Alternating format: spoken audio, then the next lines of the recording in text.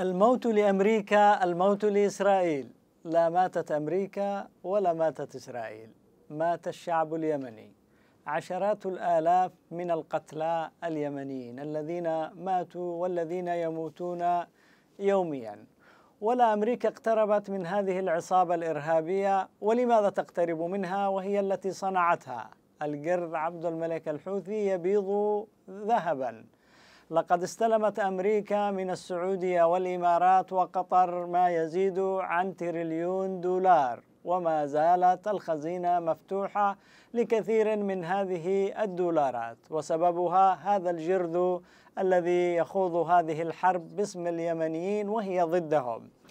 قال ولد الشيخ المبعوث الأممي قبل أن يقدم استقالته أنه توصل مع أطراف الصراع في اليمن لمقترحات وافقت عليها جميع الأطراف المعنية ولكن في نهاية المطاف تنكرت لها عصابة الحوثي ورفضتها. وقال ولد الشيخ أيضا أن هناك تقارير يومية تفيد موت اليمنيين نتيجة للفقر والجوع والأمراض ونتيجة لآلة الحرب التي تحصدهم يوميا. وقال هناك أطراف تعتاش من الحروب وتجارة السلاح واستغلال الأملاك العامة لأغراض شخصية. لماذا تصر جماعة الحوثي على قصر اليمنيين في حرب هي ليست حربهم؟ ولماذا تقودهم إلى حرب مفتوحة لا نهاية لها؟ لأنها أصبحت أداة من أدوات إيران في المنطقة. إيران التي تريد مع الأمريكان والصهاينة أن يعيدوا تقسيم المنطقة العربية تحت ما يسمى بالشرق الأوسط الجديد. لم تعد اليمن ولم يعد اليمنيون طرفا في هذه الحرب بل تحولت إلى إحدى الساحات الأساسية لصراع شرس ومتوحش. الحوثيون ومعهم الإخوان المسلمون أصبحوا أدوات وأذرع ووكلاء لوكالات خارجية على المستوى الإقليمي وعلى المستوى الدولي. الإخوان يقودون حربا في اليمن كما يقودونها في مصر ضد بلدانهم وضد شعوبهم لأنهم أصبحوا اداه من أدوات الصهيونية في المنطقة العربية، لا يهمهم الوطن ولا تهمهم الشعوب، وهم يتحالفون اليوم مع جماعة الحوثي، يتحالفون مع هذه العصابة، والمرجعية الأساسية والرئيسية أمريكا وإيران والأداة الرئيسية الرابطة بينهم دولة قطر. نقلت الأطراف الإقليمية والدولية صراعاتها إلى اليمن عبر الوسطاء المحليين المتمثلين بجماعة الحوثي وجماعة الإخوان المسلمين وهؤلاء تجار للأسلحة وأمراء للحروب ليس فقط في اليمن كما قلت ولكن في مناطق متعددة. حينما تبحث عن الصراع في ليبيا فستجد الإخوان المسلمون وراء هذا الصراع ووراء استمراره وكذلك في تونس وفي العراق وفي سوريا وفي مصر وفي اليمن وأينما يوجد الصراع إلا وكانت جماعة الإخوان هذه الجماعة التي زرعتها الصهيونية ذات يوم هي التي تقود الفوضى في المنطقة العربية وفي بلدانها. اليمن تعيش طاحونة هذه التجارة القذرة ويئن الشعب اليمني للأسف الشديد من ويلاتها. كانت عصابة الحوثي الإرهابية حينما تمردت على النظام والقانون تزعم أنها تدافع عن نفسها وأنها لا تريد التوسع في بقية المحافظات الأخرى وعلى حساب المناطق الأخرى في اليمن وأنها إنما تخوض هذا الصراع أو هذه الحرب لأجل الدفاع عن نفسها لكنها اليوم أوضحت بما لا يدع مجالا للشك بأنها عصابة إرهابية تعمل من أجل الصهيونية وتعمل لصالح الأمريكان من أجل أن تجعل يد أمريكا تتحرك في المنطقة وتكون اليد الطولى وتستطيع أمريكا أن تتخلص من أزمتها الاقتصادية بالحصول على مزيد من الأموال من منطقة الخليج تحديدا. حينما دخلت هذه العصابة إلى صنعاء قال الجر عبد الملك الحوثي منتقدا بيان مجلس الأمن الذي دعا الحوثيين إلى سحب المسلحين من صنعاء ومداخلها معتبرا أنه موقف يدعم الفساد في اليمن. يا للعجب! يتحدث عن الفساد ويتهم مجلس الأمن بأنه يدعم الفساد في اليمن. هاجم هذا الجرذ الولايات المتحدة معتبرا أن بيان مجلس الأمن إنما يتماشى مع السياسة الأمريكية التي تدعم الفساد وتقف إلى جانب الفساد وتدعم سياسة الإفقار والتجويع. يريد أن يقول بأنه يعمل ضد أمريكا. وما هو مشاهد على أرض الواقع بأن أمريكا والحوثية ما هي إلا أداة من أدوات الأمريكان في المنطقة. وقد سمعنا الكثير من السفراء الأمريكيين السابقين واللاحقين وهم يتحدثون عن مظلمة هذه العصابة سواء أثناء تمردها وخروجها على النظام والقانون أو في هذه الأيام التي أيضا تخوض حربا ليس فقط على اليمنيين وإنما تخوض حربا تهدد المنطقة بأسرها. كان يتحدث عن الفساد هذا الجرذ والعميل الصهيوني وقاد البلاد إلى حرب أهلكت الحرث والنسل وأحلت الجوع والفقر وعطلت الخدمات الأساسية وتوقفت المرتبات ونهبت البلاد وانتشرت الأمراض. عصابة تقود البلاد من حرب إلى حرب. هل ان للشعب اليمني ولقواه الحية أن يوقفوا هذه العصابة. وأن يوقفوا المهزلة التي تقوم بها الولايات المتحدة الأمريكية. وهل آن للتحالف العربي أن يفقه بأن الولايات المتحدة الأمريكية ليست ضد هذه العصابة وأن هذه العصابة الإرهابية ليست ضد أمريكا وليست ضد إسرائيل وإنما تعمل لصالحهما.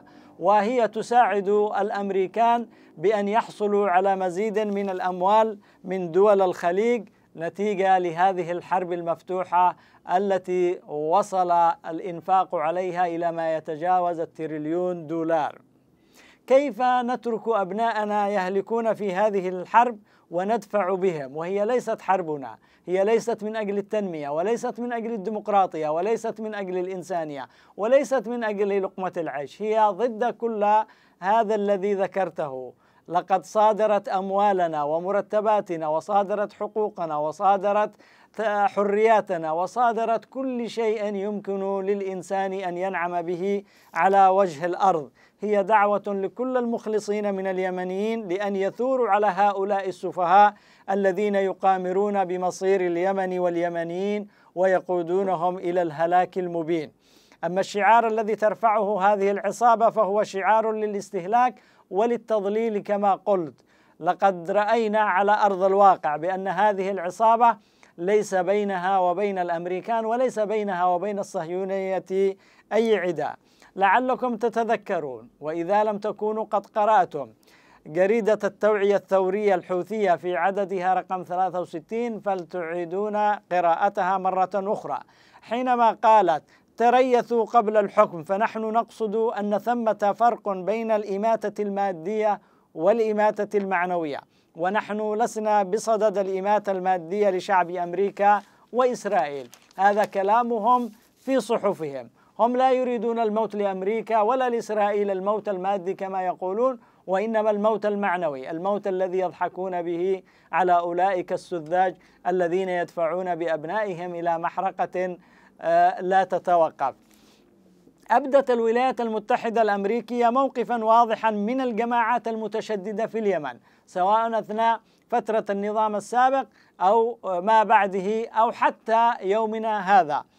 آه، وصنفت كثير من المنظمات بل كثير من الأفراد على المستوى الشخصي صنفتهم ضمن الجماعات الإرهابية. لكن مصطلح الإرهاب توقف عند جماعة الحوثي التي شحبت أصواتهم بالصراخ ضد أمريكا وإسرائيل عبر شعارهم الموت لأمريكا الموت لإسرائيل.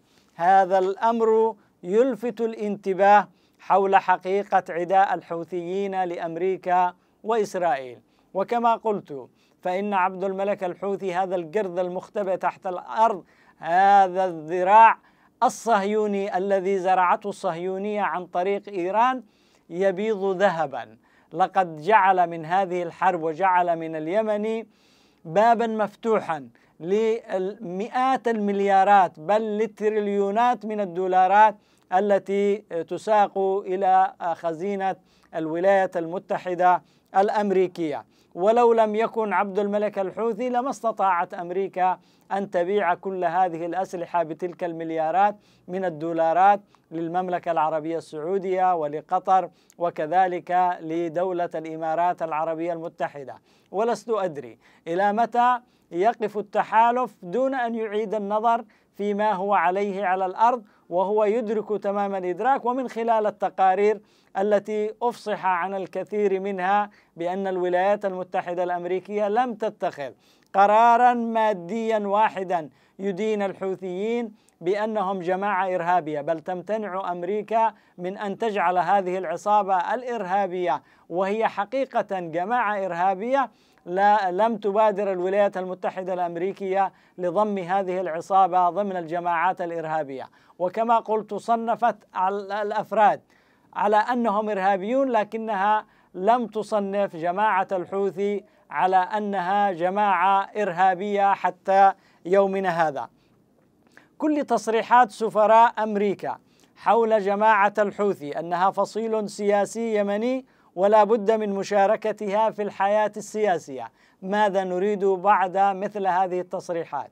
وهي ليست تصريح واحد من السفراء، كل السفراء الأمريكيين الذين مروا على سفارة أمريكا في اليمن يرددون مثل هذه المقولة وهي بالتأكيد هي رأي منقول عن السياسة الأمريكية، نحن نعلم بأن السياسة الأمريكية هي سياسة برجماتيه تبحث عن مصالحها وهي لن تقف مع أحد مع أي طرف من الأطراف من أجل سواد عيونه، هي تقف مع الأطراف بما يحقق مصالحها، وهي اليوم تحقق مصلحة لم تكن تتوقع أن تجني أن تجني منها تلك الأموال الطائلة كما هي من وراء جماعة عصابة الحوثي الإرهابية التي فتحت لها أبواب ليلة القدر وجعلت من هذه الحرب حربا مفتوحة لا نهائية جمعت من خلالها أموال طائلة وهي ما زالت مستمرة أيضا بجمع مثل هذه الأموال. كما قلت ترفض الولايات المتحدة الأمريكية تصنيف الحوثيين كجماعة إرهابية. في فترة النظام السابق كانت أمريكا للمشاهدين الكرام. أذكر فقط الذين ذاكرتهم ربما خانتهم لبعض الوقت والفت نظر أولئك الذين لم يقفون على هذه الحقيقة. في فترة النظام السابق كانت الولايات المتحدة الأمريكية وتحديدا أثناء الحروب الستة وما قبل الحروب الستة كانت أمريكا تدعم عصابة الحوثي بثلاثة مليون دولار شهريا. بما يعني؟ بأن هذه العصابة إنما هي أداة من أدوات أمريكا وذراع من أذرعها في المنطقة وهي ليست ضد أمريكا وليست أمريكا ضدها. وعلينا أن نراجع اليوم الحقائق والوقائع على على الأرض.